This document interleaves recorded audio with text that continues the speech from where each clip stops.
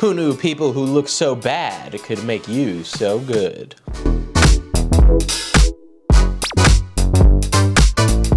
Let's say you enjoy your favorite chaos themed mini from Games Workshop. That's fine, you get a lot of baubles, a lot of skulls, a lot of spikes. Who doesn't like an incredibly sharp miniature that they have to pick up?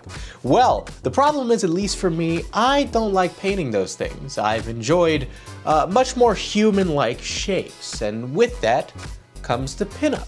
Hello everyone, my name is Diesel and welcome to Mana Potion Tabletop. So, uh, let's talk about nudity today. I'm actually very new to miniature painting. I started this year, so with that I've had to learn a lot. This is my first miniature, this nice little orky fella. He's quite the orc, he's quite interesting, but he's a little, uh, uh, not a great paint job.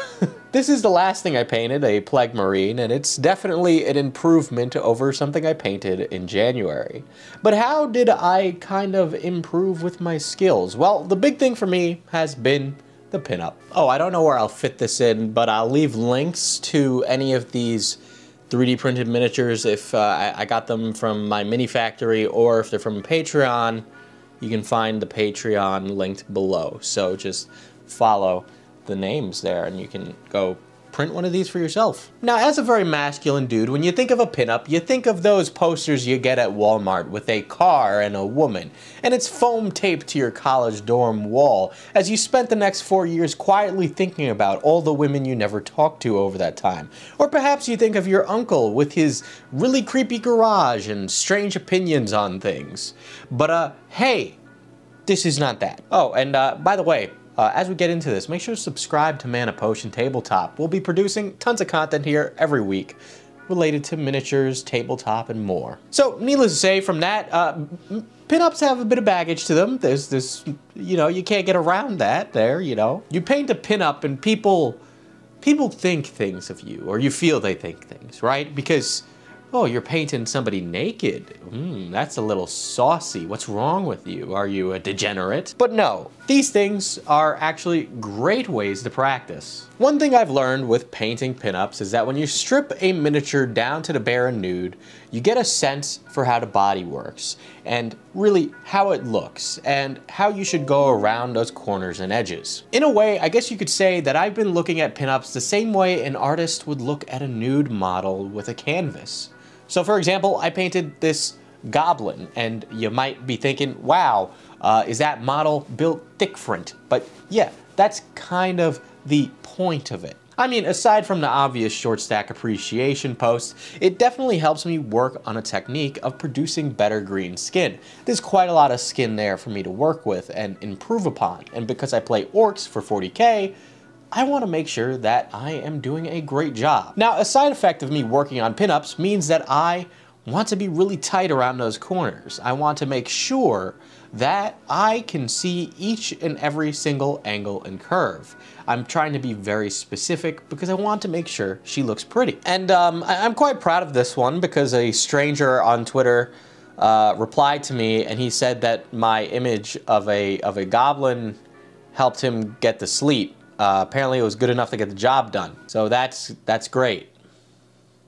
This miniature right here is a multi-part pinup from a Patreon. I actually messed up this lady, but she was my first attempt at trying to make a more realistic Caucasian skin. I mix it with a couple of different paints, and you'll get to know more about this miniature in a different video, but Specifically, I quite enjoyed working on her skin. There was a lot to cover and a lot of places you could mess up, but you know, it's not it's not it's not my worst one. So as a result, I've been painting a lot of pinups, uh, not because I am a degenerate, but because I am a man of culture. You know, just really trying to understand the different layers of skin, and that's really been the main focus with all of these, is to understand skin and get better at doing that goal specifically, not to spread myself thin and do non-metallic metals or do something else. And I should mention that pinups aren't just um, that. Sometimes there's actually men too that can be pinups. So you got this gladiator Viking guy right here, and he's got a dad bod, but he's also you know, a bit of a barbarian thickums. You know, he's strong, he's got the gains, he's got the muscle. Or you get this guy who I painted and haven't, or not even primed or anything. Uh, you know, he's he's a cook, and he's cooking naked, uh, not OSHA compliant miniature, if you will. I really want to make sure that my pinups look pretty regardless of their gender or species. So I've definitely gotten a lot of a smoother hand just by working on these. I mean, this orc lady, for example, um, kind of kind of messed up her face in the high-res pictures I've included in this video. You'll you'll see that, but hey man, I, I, worked really hard on it, even though it is definitely worse than the Goblin. Also, hey man, if you're painting an army, you might have gotten really bored of painting your 100th Space Marine, or just, you know, not trying out any new mechanics for your painting.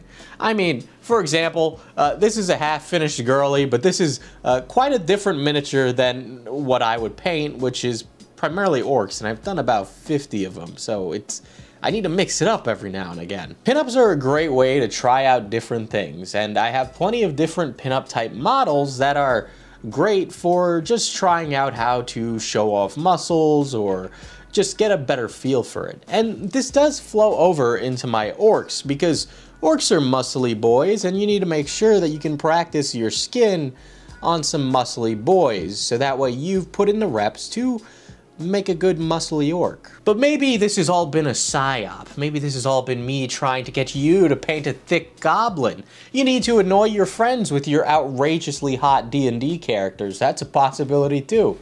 You need to be the obnoxiously ripped and chiseled space marine mowing down the nids in a thong. Something something a joke about Guilliman and that elf lady that I don't remember the name of. But I really do think it's time that you paint a pinup and uh, take a ride on a bit of the more uh, eccentric side of 3D printed miniatures. And hey, if you don't have a 3D printer, there's even some miniature sellers that uh, do the pinup. I know the really famous one is Kingdom Death, and I don't have one of those yet, but I'll work on it. Anyway, in the meantime, go paint a thick goblin or two and make sure to tag me on social media. And also make sure to subscribe to Mana Potion Tabletop.